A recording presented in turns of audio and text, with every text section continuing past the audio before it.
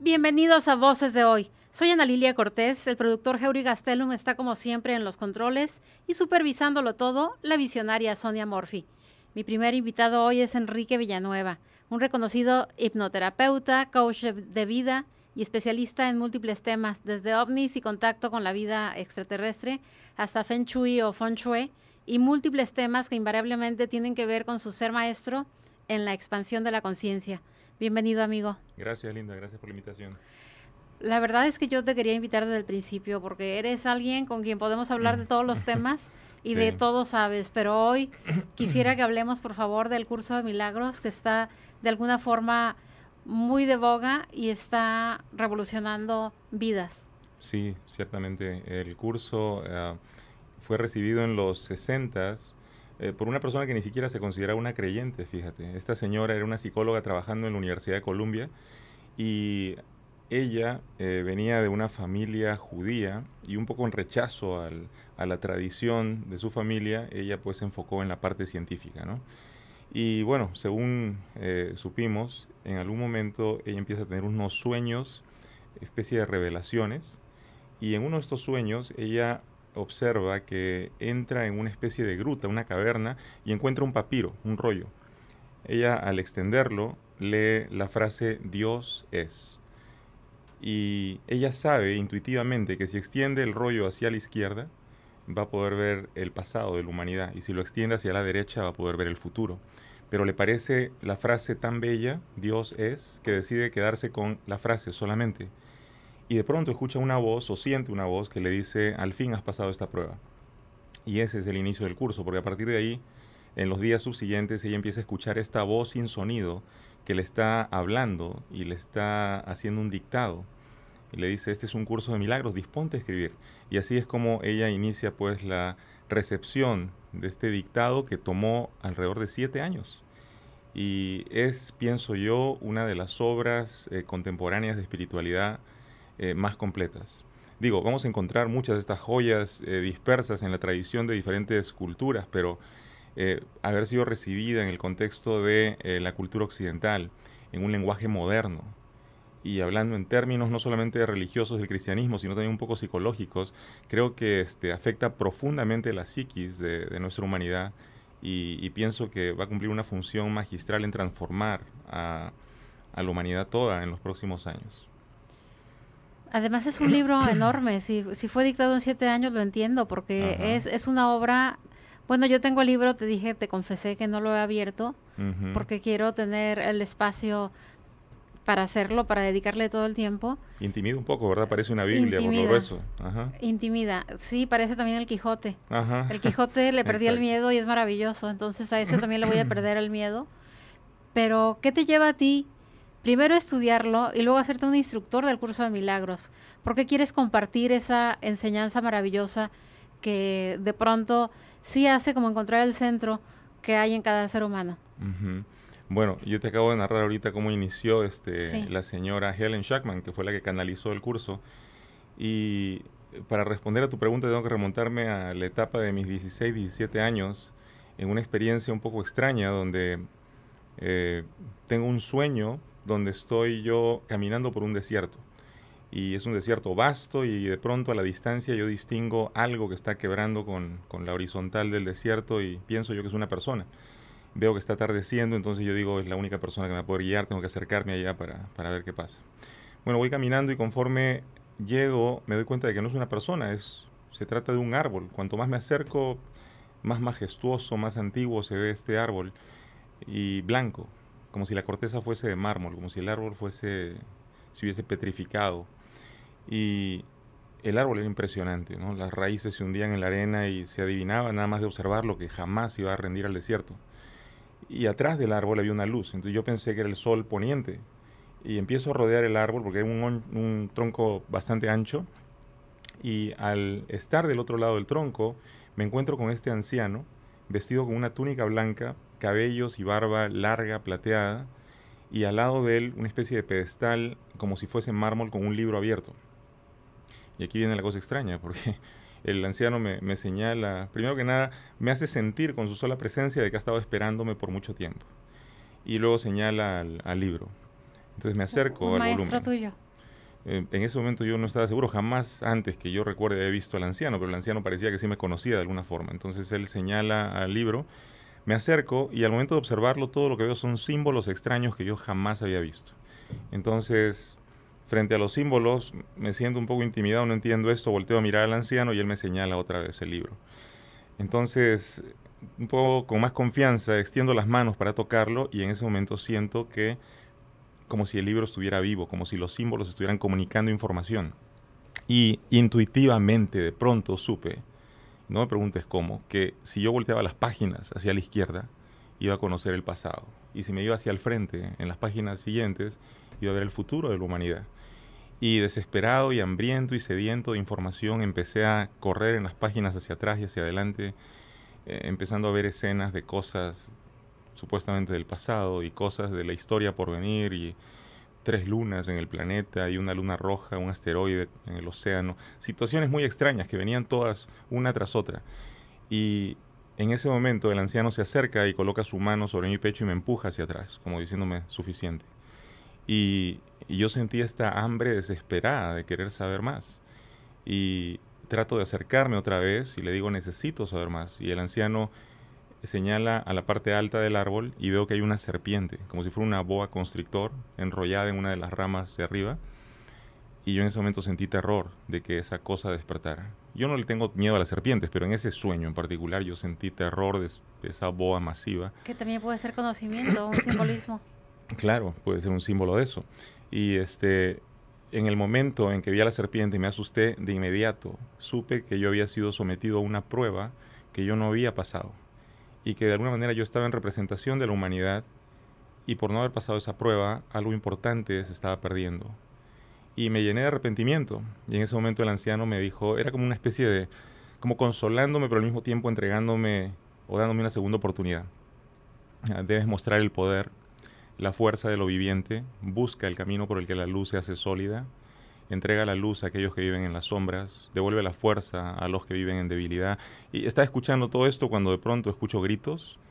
En mi habitación, una prima que estaba durmiendo en una cama adyacente, ya estaba de visita, se había despertado para ir al baño y había visto una luminiscencia en el cuarto. Al voltear a ver mi cama, dos personajes vestidos de blanco estaban sentados encima de la cama, encima de mi cuerpo.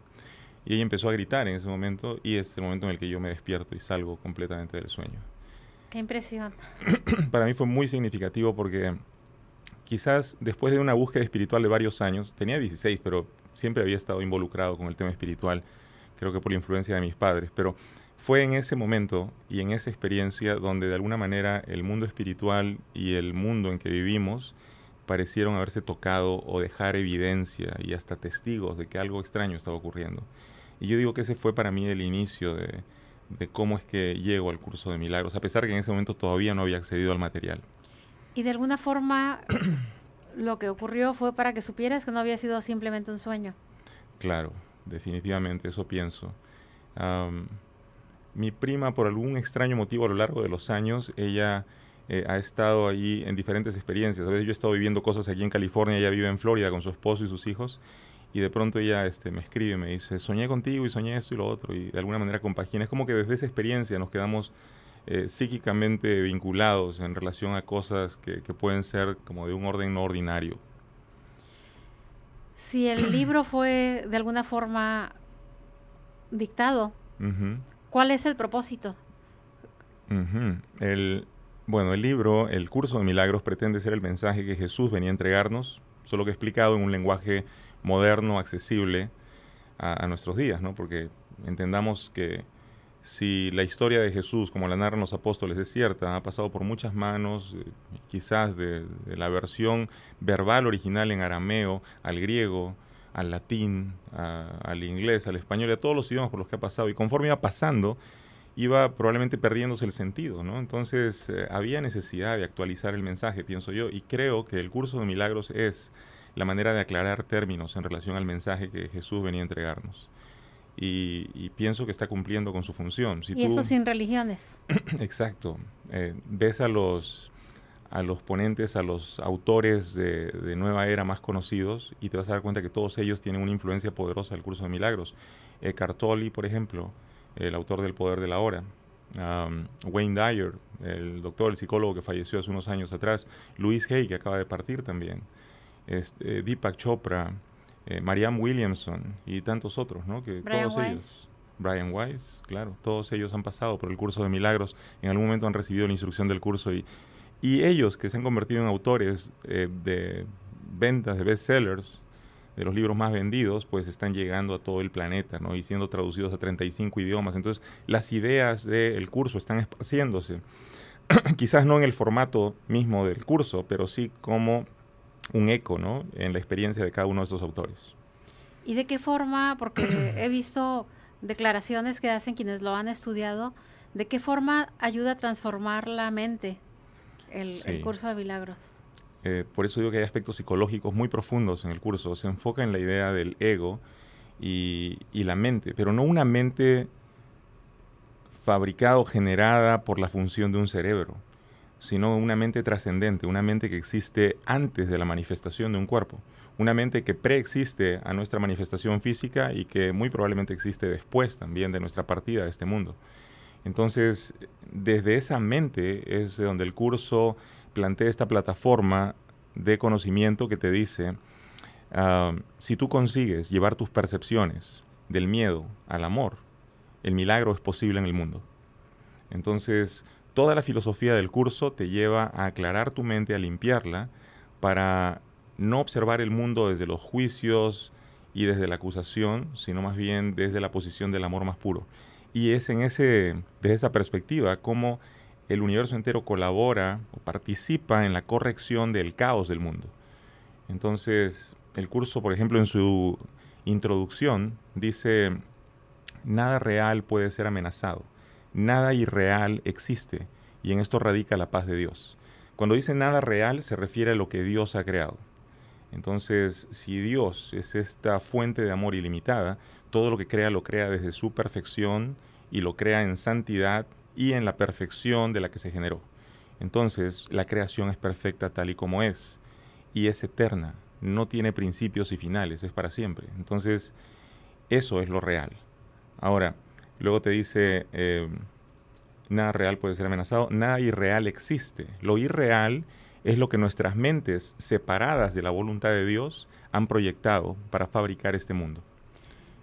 Me llama la atención que menciones el ego y Claro, el, ego es lo más destructor que existe. Y hay quienes han comparado la representación del ego en este momento en, la, en el personaje que es Donald Trump, por ejemplo, oh. que es de, de, plano la antítesis del amor. Ajá. Entonces, ¿de qué forma este, discurso, este curso despeja los obstáculos que impiden experimentar precisamente la presencia del amor? Entendamos entonces qué es el ego para poder este, plantear la corrección. Eh, yo siempre lo explico con una metáfora. Yo digo que si la totalidad es como una montaña, si el todo es una montaña, el ego es como una piedra que se desprende de la parte más alta de la montaña y empieza a rodar cuesta abajo. En su rodar, esta piedra quiere arrastrar consigo eh, nieve, otras rocas, tierra, y quiere hacerse masiva, quiere convertirse en una avalancha, y quiere quizás hasta competir con la totalidad. Entonces el ego es algo así, es el sentido de separación. Yo no soy la montaña, yo soy algo más y yo puedo ser aún más grande que la montaña. Y entonces mientras rueda cuesta abajo dice, todo para mí, todo es para mi beneficio. Es una este, visión narcisista de la vida, ¿no? Pero así es el ego, el ego todo lo quiere para sí y poco le importa el beneficio de los demás. Entonces, mientras avanza en su desplazamiento hacia abajo por la montaña, convirtiéndose en esta masiva avalancha, cree estar en control pero su tiempo está contado, tiene un inicio y tiene un final. Cuando llega a las faldas de la montaña, toda su masa se va a detener y va a desaparecer en la totalidad de la montaña, porque la gente ni siquiera va a poder diferenciarlo del todo. Entonces, yo digo que el ego es ese sentido de separación que quiere competir con Dios incluso, y que sin embargo solamente existe dentro del tiempo. Y fuera del tiempo, en la eternidad, seguimos siendo parte de la totalidad. De hecho, nunca nos hemos separado, es solamente una ilusión que estemos separados tratando de arrastrar a todos en nuestro caos. Con esa descripción del ego me hiciste recordar el libro de El Todopoderoso de Irving Wallace, que define precisamente este personaje del que hablaba hace un momento. No, mira. Era un personaje que se inventaba las noticias para ganar los titulares en los periódicos, porque aparte tenía sus su propia cadena de periódicos y era su forma de tener las noticias de ocho columnas. Crear los atentados y sus redes terroristas y todo para tener precisamente la, la, noticia de ocho columnas y ganarle a todos los demás. En el curso de milagros se dice que nada real puede ser amenazado y que nada irreal existe. ¿De qué forma con los ejercicios de este libro se entrena la mente para tener una percepción diferente de todas las cosas? Ajá. Si aceptamos entonces que lo irreal es lo que mi mente ha proyectado, eh, separada de Dios, separada del amor, entonces nada de lo que yo estoy percibiendo en este mundo es real. Esto es la proyección de mi mente separada del amor. Ah, cuando yo puedo comprender que yo soy la causa del mundo que veo, cuando me doy cuenta que cada uno de mis pensamientos son los que están generando la realidad en la que existo, entonces empiezo a tomar responsabilidad y empiezo a pensar de manera correcta.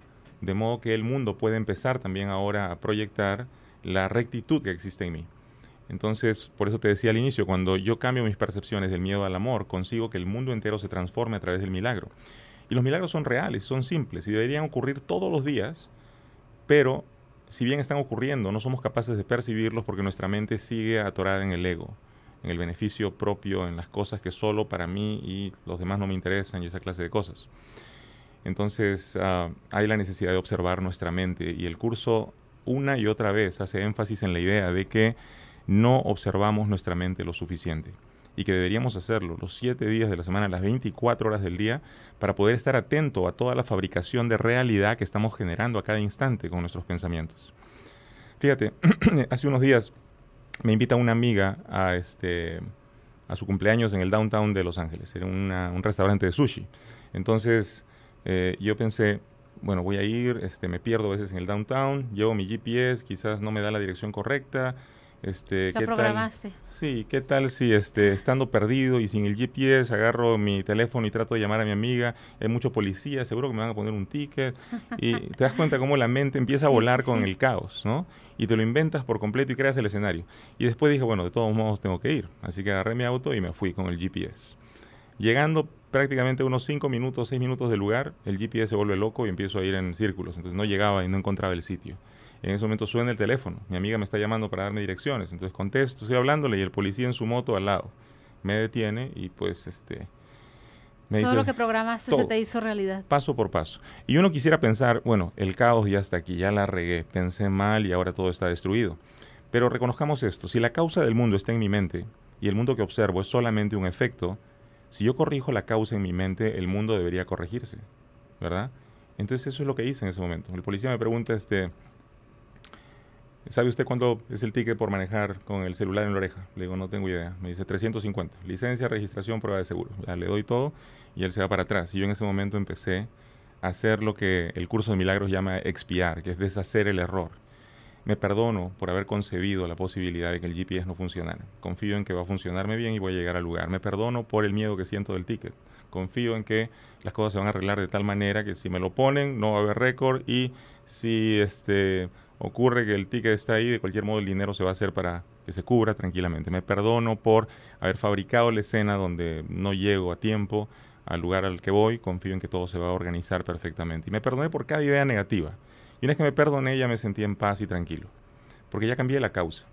En ese momento el policía se acerca y me dice, oiga, ¿quiere que le dé el ticket? Le digo, no. Y me dice, ¿y por qué motivo estaba manejando con el celular? Le digo, el GPS no me funcionaba, mi amiga me llamó para darme este, las direcciones. Voy a este restaurante. Me dice, ok, le voy a dar un warning. Se sube a la moto y me lleva al restaurante y me deja ahí tranquilo. Y eso fue todo. Cuando tú corriges la causa del mundo que se encuentra siempre en tu mente, el mundo entero se reorganiza y entonces los milagros son posibles. Pero requiere de esa atención constante, darte cuenta de que sin importar cuán caótica, cuán extraña y fea se vea la escena fuera de ti, tú sigues siendo la causa de lo que observas y que modificando tus pensamientos, el mundo que observas puede también modificarse para bien. Eso de alguna forma exige que cada persona asuma su parte responsable de las cosas. Sí. Porque si una persona vive siendo víctima, en el estado de víctima, no es capaz de asumir una responsabilidad sobre lo que está ocurriendo. Entonces, lo primero que habría que hacer es dejar de ser víctimas de las circunstancias, asumir la responsabilidad de absolutamente todo lo que hacemos y decimos, que es lo que provocamos, y entonces se vive en la magia. Exacto, y por eso mismo en expiar tú deshaces el error a través del perdón, fíjate. Me perdono por haber concebido esto, confío en esto otro. ¿Por qué el perdón? Tú mencionaste ahorita víctima. Si para que exista una víctima tiene que haber un verdugo, ¿verdad? Pero ¿qué es una víctima sino una persona que le ha entregado su poder a alguien más? A quien ahora le ha pegado la etiqueta de verdugo, porque ella necesita a alguien que maneje su vida de alguna forma.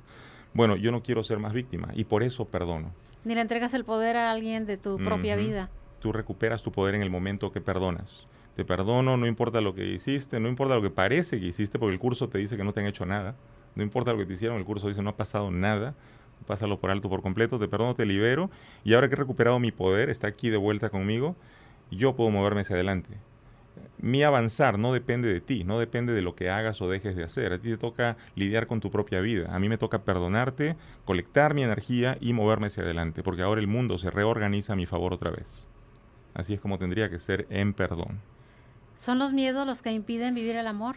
Definitivo. Ah, fíjate, el curso en la introducción dice que solamente existen dos emociones y una de ellas es una fabricación de nuestra mente, la otra es real.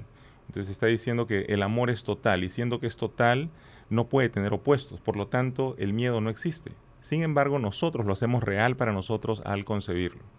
O sea, yo no estoy diciendo que no hayan peligros allá afuera. Lo que estoy diciendo es que nuestro miedo complica más las cosas, ¿no?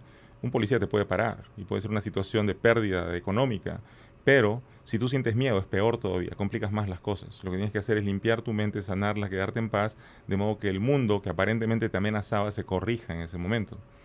Entonces sí, necesito yo eh, tomar atención de lo que está pasando en mi interno para poder empezar a darme cuenta de cuándo es que llega el momento de debilidad en mi mente, cuándo estoy cediendo a la tentación de juzgar algo, de atacar algo o de sentir este miedo. Fíjate, hay gente que me dice, no es cierto, hay más de dos emociones. Yo a veces siento rencor. Y yo les digo, no, el rencor es miedo de que te la vuelvan a hacer. Ya te lo hicieron una vez y ahora estás asustado de que, te la vuelvan a hacer. Hay gente que me dice, no, no, no, yo no siento miedo, yo siento celos. Eso es miedo de que te cambien por otra persona. Y así hay gente que me dice, siento envidia, yo no siento miedo. No, lo que tienes es miedo de no poder conseguir lo que la otra persona tiene. Y a eso le llamas envidia. Entonces, en la raíz de toda emoción negativa se encuentra el miedo. Así como en la raíz de toda emoción positiva está el amor. Solamente que el amor es real en el sentido que está más allá de tus elaboraciones mentales en relación a este mundo. Y, esto es importante descubrirlo, Anali. A mí me ha tocado, por ejemplo, en situaciones donde he estado en crisis con alguien, eh, la vez pasada una persona me mandó un texto muy feo, eh, insultándome, diciéndome cosas. No puedo creer que a ti alguien te pueda mandar un texto sí, pasa, feo. pasa, como a todos. Ah, si ves los videos que tenemos en el canal de YouTube, vas a ver que hay muchos comentarios positivos, pero de vez en cuando hay alguien que te suelta ahí una patada de gratis. Y está bien, así es, es la naturaleza del mundo. Es el mundo en el que cada quien se desenvuelve. Ya, aparte es proyección. O sea, ¿qué parte de mí está proyectando eso? También tengo que preguntarme. Entonces, ¿qué pasó? Esta persona me manda ese texto muy feo y en ese momento mi mente en automático empieza a atacar a la persona. Y ya empiezo a pensar cómo le voy a responder, qué le voy a decir. Pero, el ego. Exacto, el ego. Y en ese momento yo digo, espérate, nada más por el hecho de pensar en responder ya me estoy sintiendo mal. ¿Qué es lo que debo hacer ahora? Bueno, lo que voy a hacer es escuchar la voz del Espíritu Santo y dejarme guiar. Entonces le pregunto, dime qué es lo que debo hacer y veo clarísimo que me indica que me vaya al rincón que tengo en mi casa donde tengo un altarcito y que me siente ahí como un niño castigado. Entonces me paro y me voy para allá y me siento y le digo, ¿y ahora qué? Me dice, cierra los ojos y observa a la persona que estabas a punto de atacar. Ok, cierro y la veo ahí al frente. Y me dice, ahora mándale todas las bendiciones que puedas concebir en tu mente. Entonces yo empiezo, este, que esta persona sea feliz, que esté llena de salud, que esté rodeada de personas que la aman, que esta persona se sienta en amor todo el tiempo, que sea dadivosa y que reciba también en abundancia. Y empiezo a decir todo esto, pero mi mente todavía está desgraciada, cómo me pudo insultar, es injusto. Y yo seguía, ¿no? Eh, no, el cielo está incompleto sin ella, Dios la ama, y si Dios la ama, ¿quién soy yo para juzgarla? Y yo seguía y seguía y seguía diciendo estas cosas. Hasta que yo digo que pasaron unos 10 minutos de estar en esta lucha, porque mi mente negativa seguía diciendo cosas, y de pronto me di cuenta de que lo que estaba diciendo era lo real. Todo lo otro que mi mente en negatividad había estado diciendo y juzgando era falso. Y lo otro estaba como una plataforma de fondo. El amor siempre había estado allí, solamente que yo tenía que hacer este ejercicio para descubrirlo otra vez. Y entonces me llené de tranquilidad y supe que era auténtico todo lo que estaba deseándole esta persona. Y en ese momento me entra un texto de esa persona eh, pidiéndome disculpas y diciéndome que el texto no era para mí. Entonces todo quedó en paz y tranquilo. ¿Te das cuenta? Cuando tú cambias tu percepción del mundo, el mundo que percibes cambia. Qué increíble.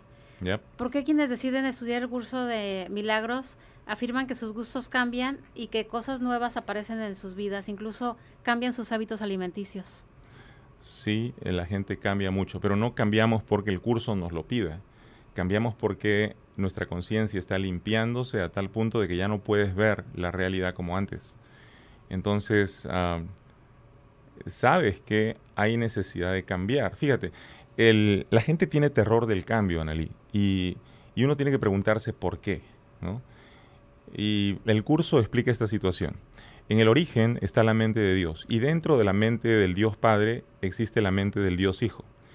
El Dios Hijo solo existe dentro del Padre. Es imposible que esté separado.